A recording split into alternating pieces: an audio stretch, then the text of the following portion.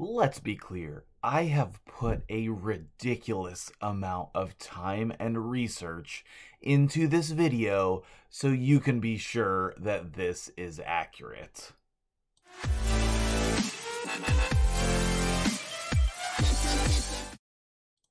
What's up, guys? Mike MTG Jedi, and that intro may or may not be a hundred percent correct. I have definitely researched this a little bit on definitely um, single digits of different days. Uh, uh, but apparently, Google Trends tells me that in Raid Shadow Legends, the number one champion that is searched on the internet is Sepulcher Sentinel? Since when? Why? Please tell me in the comments why is this the most searched champion in the entire game? And if I'm wrong, you need to tell me why I'm wrong and show your work, okay? Um, let's go over this champion, okay? Her A1, her first skill, attacks one enemy and has a decreased attack on it. We know that this type of ability is good against clan boss because um, when you lower the attack value of the clan boss, it does less damage to you, and therefore you can survive for a longer amount of time. Okay? So it's a 40% chance, which is not very high. It does book up to 60, but you're still only attacking one time, so it's not guaranteed. It does last for two turns, so if you hit, then it does it stays on there for a minute, okay? And her damage is based on defense. She's a defense-based champion. Okay, sure. Yeah, that's not bad. That's not bad. Okay, okay. She places an increased defense and a block debuffs buff on all allies for two turns, and it's on a four turn cooldown. So I guess if you make her speed high enough, then this could be uh, active for the entire time. But I don't think most people are going to be able to make that commitment for the speed in order to get it. So that means that this is only going to be up sometimes, which is helpful, but not great. Her passive has a 25% chance of completely blocking incoming damage when an ally is attacked. So it doesn't stop the damage on her, but it does the other champions. And this is 25, 35, 45, a 50% chance. So books seem pretty important on her. It would only take, I mean, one book there, four books there, and then six books here uh, one, four, and six is 11, right? Yeah, so that's not a terrible commitment. And then she has a defense in all battles aura. So all of that seems pretty good. Okay. What about her base stats? 1321? Eh. 16k? Eh. 98 base speed? Eh. No base accuracy? And uh, overall, I mean, not bad. I mean, I'm giving her a little bit of crap here, but uh, but yeah, um, you know, she looks weird. I always thought she looked weird. Like, what is going on with the helmet? And the shield is kind of neat. Like, she's going to summon some snakes or something with the snakes on the helmet and whatnot. She's kind of got a snake theme. And she looks like she's ready to kill you. All right, well, um, let's go check her out in my inventory then. let's go check her out. All right. So, um, I play this game way too much, and so I'm level 98. Uh, here is my Great Hall. It is well underway. We're, you know, the Blue Man group here, trying to make it into the uh, Gold Squadron in Star Wars. Um, what else can I show you? Uh, let's say we are in gold four in both arenas. Okay, what else? What else? This is not a flex. This is trust me, we're going somewhere. Okay, let's let's look at clan boss. Uh, clan boss, unkillable team, 60 so or so mil per key. you know, not the best, not the worst.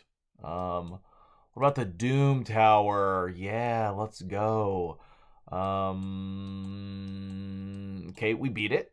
We beat it. All right, it was a challenge, but we beat it. All right, we beat it. We beat most of the secret rooms. Um, I think I'm skipping. Which one am I skipping? The stupid one that I don't feel like doing because I don't need to do it. Um, here it is. Here it is. I think I'm skipping this one because it's annoying and uh, I don't need to do it. So we can skip the Lizardman secret room, I think. Um, if you, uh, here, pro tip for you guys, if you come over here to the fragment summons, um, you could have a total of 72 possible fragments, but you only need 100. Okay, so I mean, maybe I should do that three more, so that's one less secret room that I would need to do. And I can race to that video, but, uh, you know, we'll see what happens. What else can I show you for reference? How about some other champions? You just need a reference point here. Okay, you need a reference point. Okay, I have some champions. All right, I have, you know, uh, I have a fair bit of legendaries, I have a fair bit of epics. I have a fair bit of food going on, rares. So then, obviously, Sepulcher Sentinel, you know, we have some more maxed out characters over here. Obviously, Sepulcher Sentinel's got to be among them, right? But I'm not seeing her, guys. Where's she at? Where's she at? Let's look. Let's find her. Let's find her. Hmm.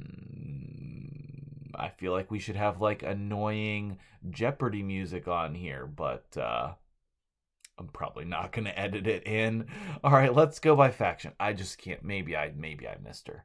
Maybe I missed her. Oh, there she is. Wait. Wait, what? Let, let's let's what what happened? What happened? Where but she's